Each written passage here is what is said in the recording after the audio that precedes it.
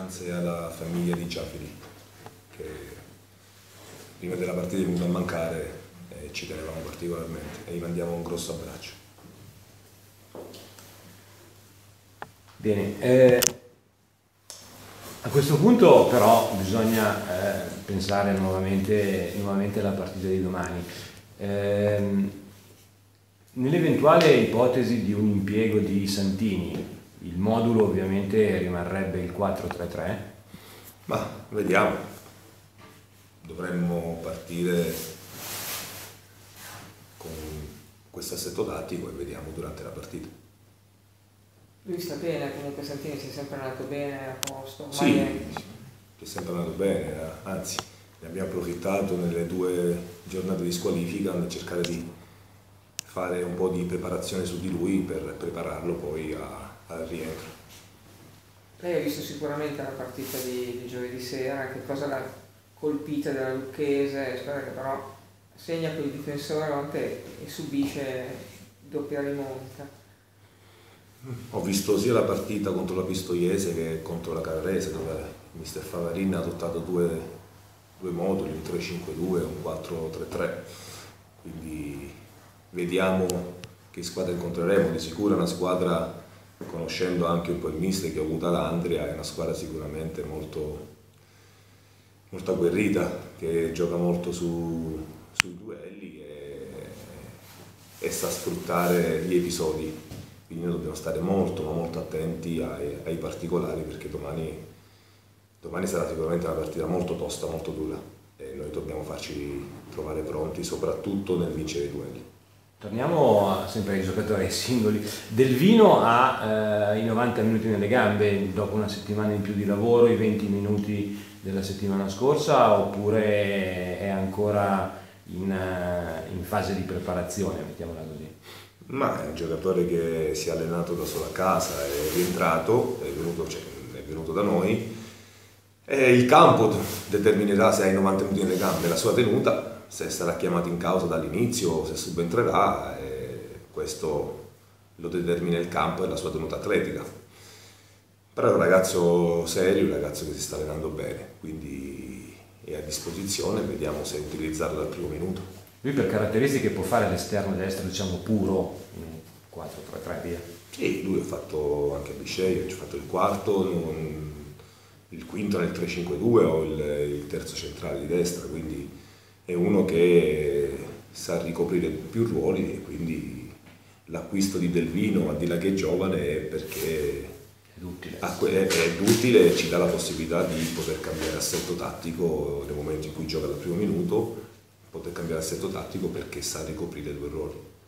Visto l'altra settimana lei aveva detto non, è, non ci entusiasmiamo troppo per una vittoria e non ci demoralizziamo troppo per un risultato negativo cioè, la reazione che ha trovato da martedì dopo la partita con,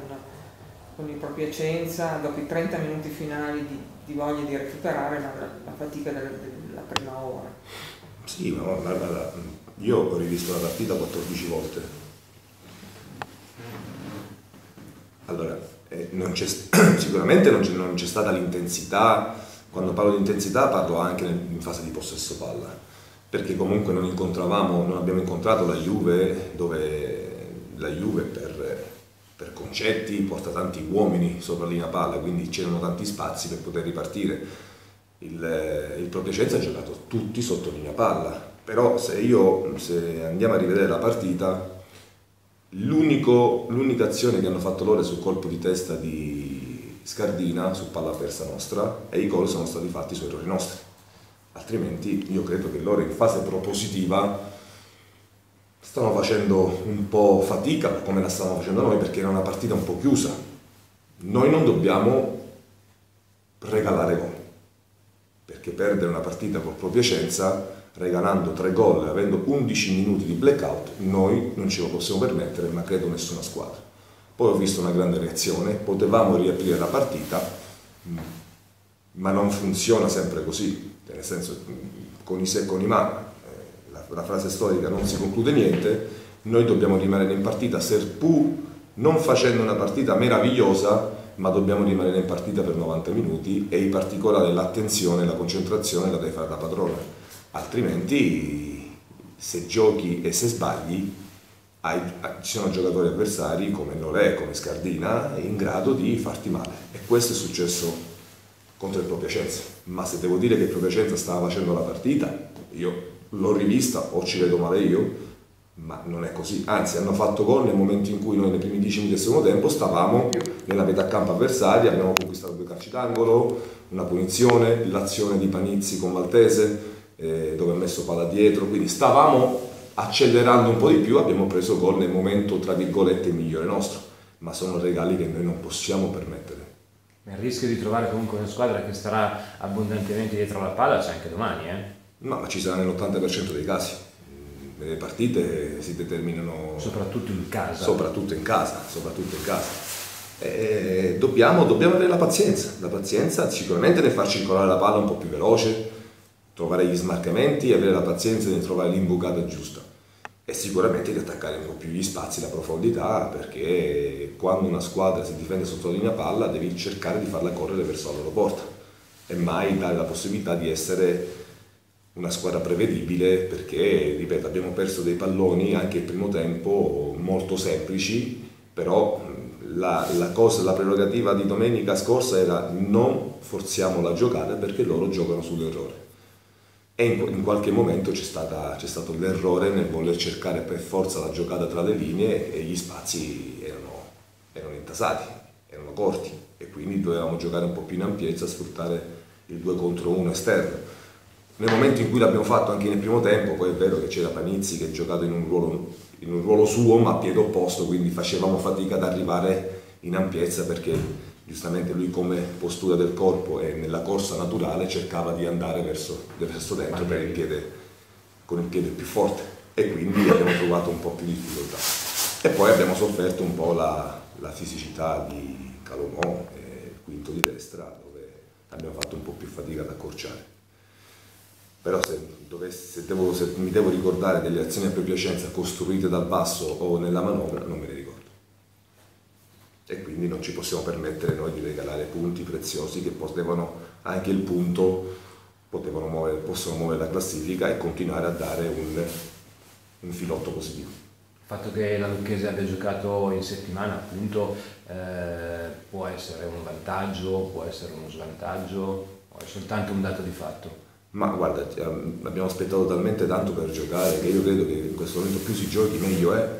perché la possibilità di, di dare continuità, di, di fare minutaggio, eh, la rosa della Lucchese non si, non si limita solamente a 11 giocatori, avranno anche loro 23-24 giocatori dove magari ha fatto riposare qualcuno in vista di, della partita di domani. E quindi secondo me in questo momento ci tenevo io anche io a giocare con la Pro Vercelli mercoledì per dare continuità e per giocare. Per dimenticare magari subito. Sì, ripartire subito, ma vi ripeto, non, eh, la cosa che ho detto ai ragazzi è che al campo io voglio vedere sempre ragazzi che quando si perde, si vince, mantenere sempre lo stesso entusiasmo, che non vuol dire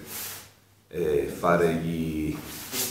i giocherelloni, vuol dire avere un equilibrio nel, nell'aspetto mentale perché altrimenti passiamo dall'euforia alla depressione in, in, un nanosecondo e questo non aiuta alla crescita. Essendo una squadra giovane bisogna mantenere un equilibrio, essere incazzati sì, ma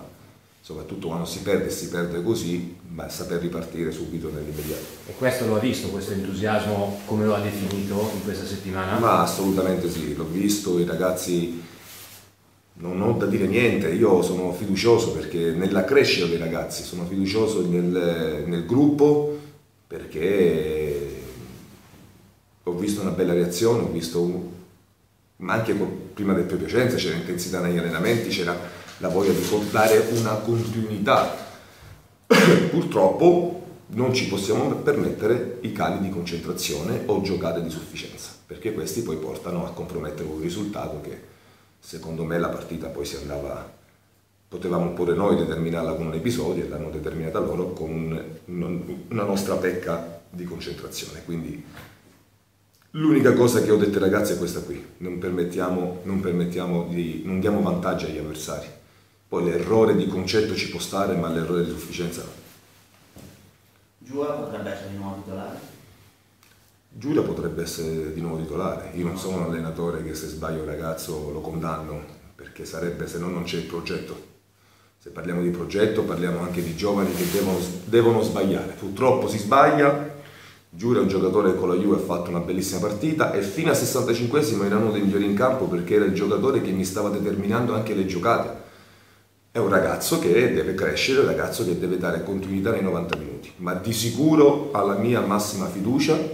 che lui si deve comunque guadagnare ogni settimana nella crescita e di sicuro non voglio vedere gli errori che ha fatto domenica, ma la fiducia è totale, anzi nel momento di difficoltà bisogna aiutare i giovani perché altrimenti passiamo sempre dal, dal, dal giudizio a, a, mente, a, mente, calda dove anche, anche noi che diamo giudizi, io comunque sono chiamato a dare dei giudizi a fine partita e delle, fare delle valutazioni, se io passo a dire a Giura bravo, eh, hai fatto, eh, fatto, perdere la partita, bravo hai fatto perdere la partita, secondo me non, sto, non sono in linea con il progetto che abbiamo sposato all'inizio dell'anno.